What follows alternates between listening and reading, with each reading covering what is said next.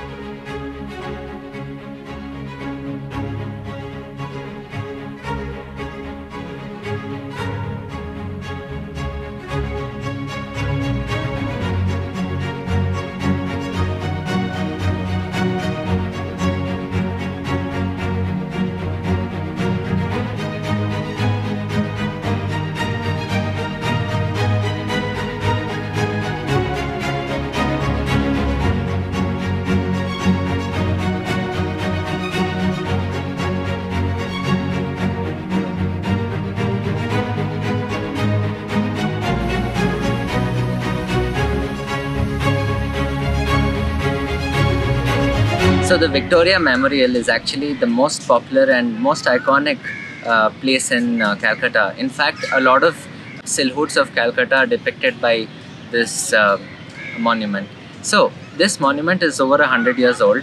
It was built for over 20 years from 1906 and it was built in honor of Queen Victoria who was the Empress of India just before that.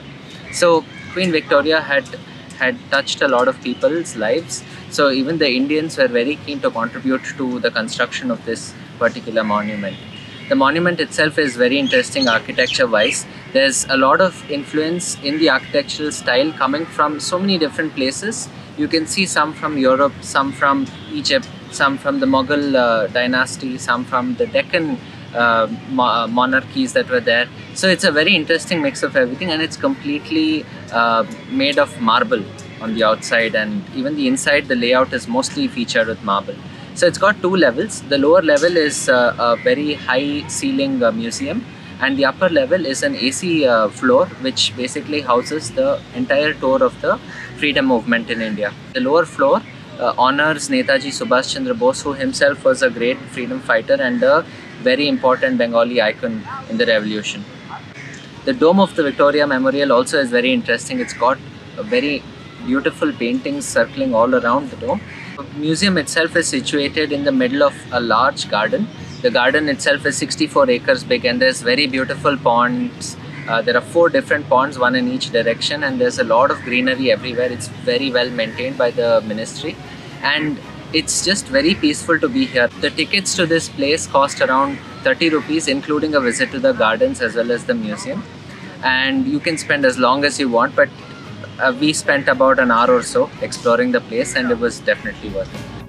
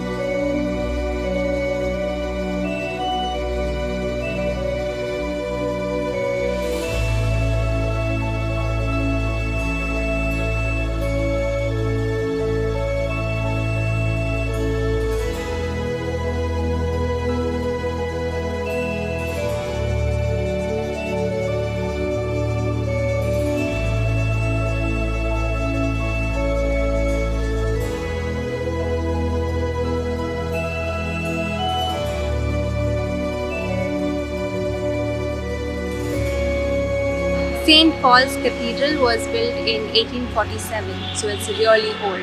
It's a very beautiful church. We went inside. Unfortunately, we could- couldn't photograph or videograph inside. It was so calm and peaceful.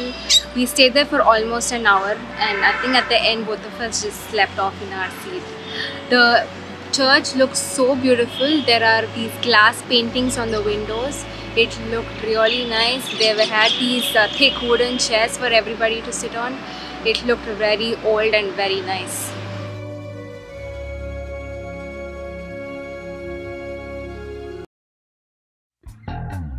What is this? What is this? Flower. Why? Give it to me. Okay, there you go.